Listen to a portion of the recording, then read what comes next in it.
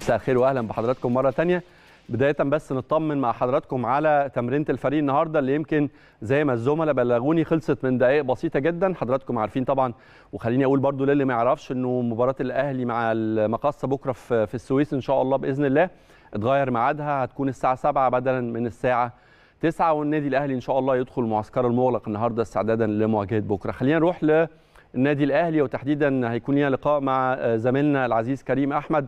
نتعرف منه على استعدادات الفريق وأخبار التمرينه النهارده ونطمن كمان على اللي كانوا بعاد في الفترة الأخيرة. مساء الخير كريم.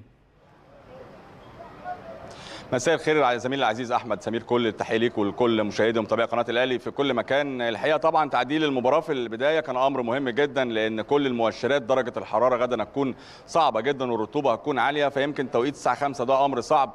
يعني متعة كرة القدم ما بتكونش متواجدة أما الأجواء بتكون بهذا الشكل. والحقيقة إحنا الفترة اللي فاتت يعني في موجة حارة جدا فيمكن قرار طيب وسليم جدا تكون المباراة في السابعه مساء على استاد الجيش بالسويس وهي مباراة المقصه إن شاء الله بإذن الله نشوف نفس المعنويات المرتفعة ونفس التركيز الكبير شفناه في المباراه الماضية وتحديدا المباراة الأخيرة. كنا بنتكلم طبعا على غلق المساحات وطريقة اللعب اللي كان بيخوض بيها نادي المقاولون العرب المباراة الأخيرة.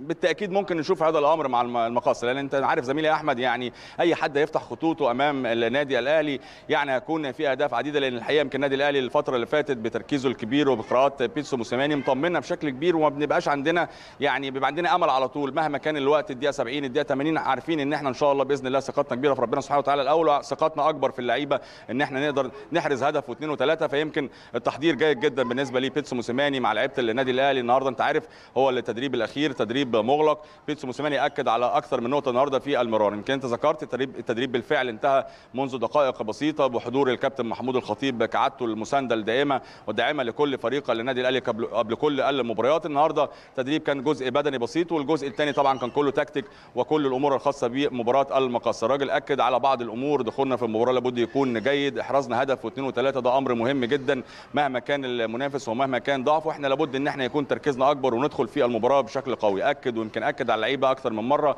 على يمكن اللعيبة تحافظ على نفسها بشكل كبير جدا في المران وفي مباراة الغد. لأن إحنا أنت عارف زميلي أحمد محتاجين كل اللعيبة مباراة كايزر تشيفز طبعا مباراة النهائي النهائي طبعا البطوله الأفريقية الحلم الكبير والمنتظر لكل جمهور النادي الأهلي. فيمكن الأمر ده مهم جدا مع اللاعبين. ويمكن كمان يعني إن شاء الله بإذن الله فريق مصر المقاصة طبعا يلعب بكل قوة. آه لكن يحافظ أيضا كمان على لعيبة النادي الأهلي لأن النادي الأهلي الممثل الوحيد لمصر في هذه البطولة. فإن شاء الله بإذن الله لعبتنا تكون مركزة في مباراة الغد وكل الأمور تكون من نصيبنا. النهارده كان تدريب قوي وتدريب جيد واضح جدا التركيز وواضح المعنويات المرتفعة لكل لاعبي النادي الأهلي. فيا رب إن شاء الله الظروف والمناخ والطقس وكل الأمور دي تكون معانا إن شاء الله في مباراة الغد. كل اللعيبة كريم شاركت في ال... وعدد طيب. بيعود. اتفضل. هي دي النقطة اللي كنت هسألك فيها. كل اللاعبين شاركوا في تمرينة النهارده ولا كان في حد بره بره التمرين؟ الكل متواجد زميلي أحمد. يعني الحمد لله الكل جاهز لهذه المباراة باستثناء طبعا علي لطفي اللي يمكن الوحيد اللي بيتم تأهيله وتحضيره للمباراه القادمة مباراة كايزر تشيفز. أيضا كمان بيعود عمرو السولية غيابه المباراة الماضية للراحة. ويمكن كمان يعني هنشوف مع بيتسو موسيماني رؤيته طبعا في المباراة القادمة. ممكن نشوف تدوير لبعض اللعيبة. هل ممكن نقدر ندفع ببدر بنون ولا يتم راحته؟ محمد هاني كمان ويمكن ده أمر مهم جدا. محمد هاني بيعلن جاهزيته بشكل كبير بالنسبة للتدريبات الماضية. فأكيد بيتسو موسيماني في الحسبان طبعا محمد هاني ممكن يبدأ بيه المباراة. مع طبعا أكرم توفيق الأمور يمكن متروكة لبيتسو موسيماني لكن الجاهزية تامه لكل اللعيبة الكل شارك النهارده. ما فيش أي لعيب النهارده غاب عن التدريب باستثناء طبعا علي لطفي الشناوي جاهزيته النهارده في التدريب. أكد لنا بشكل كبير جدا إن هو جاهز للمباراة. الدفع بيه من عدو أيضا كمان رؤية فنية.